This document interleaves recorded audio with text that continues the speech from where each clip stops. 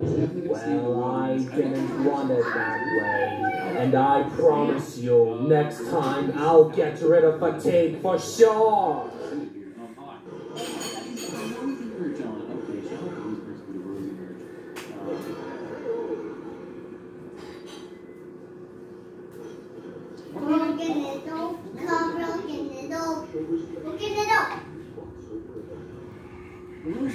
Ah!